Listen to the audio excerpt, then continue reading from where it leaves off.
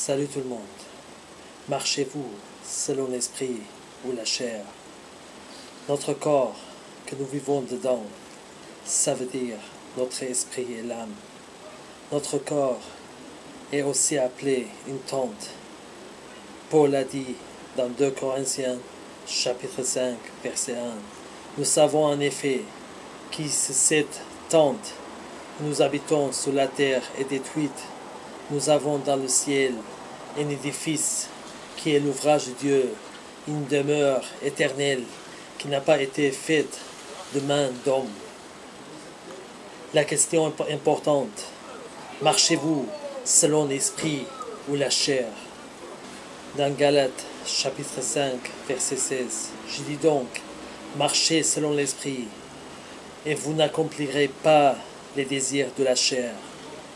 Si vous marchez vraiment dans l'esprit, mon ami, vous n'êtes pas sous la pression des désirs de la chair. Et contrairement, votre chair sera sous la pression de l'Esprit de Dieu. Jésus est en contrôle de votre esprit, si vous marchez selon l'Esprit. Mais si vous vous retirez, l'âme de Dieu ne prend pas plaisir en vous. Il vous abandonnera afin que vous viviez pour votre désir de la chair. Pour cela, Paul a dit en 1 Corinthiens chapitre 9, verset 27, Mais je mortifie mon cœur, je l'asservis de peur d'être moi-même rejeté après avoir prêché aux autres. Très important d'asservir notre chair pour que nous ne serons pas rejetés de Dieu. J'ai eu cette expérience, mon ami. Quand je marche selon l'Esprit et je donne à Jésus le contrôle de ma chair, même dans mes rêves, j'attaque les désirs de ma chair et l'Esprit du Seigneur contrôle tout mon cœur. Une fois, un ami m'a appelé chez moi. Je dormais et je me suis réveillé et je lui ai répondu sans être conscient.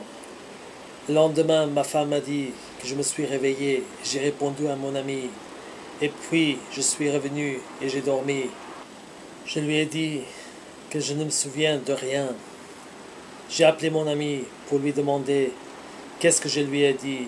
Peut-être que j'ai dit quelque chose de mal. Il m'a dit, je lui ai parlé très gentiment. Je lui ai dit, je t'appellerai demain. Ce jour-là, le Seigneur m'a montré que mon cœur est encore dans sa main. Et même si je dors, l'Esprit qui contrôle ma chair. Mon ami, ne le prenez pas à la légère. De marcher selon l'esprit est très important pour finir la course, où vous allez échouer et retirer et regarder en arrière, comme la femme de l'hôte. Comme ce qui s'est passé avec moi avant que j'ai donné à Jésus le contrôle de ma vie et mon, et mon esprit et l'âme. Alors marchez selon l'Esprit, et vous n'accomplirez pas les désirs de la chair. Que Jésus vous bénisse.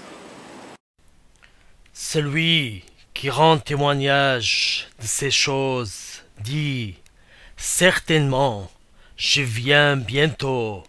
Amen. Oui, Seigneur Jésus, viens.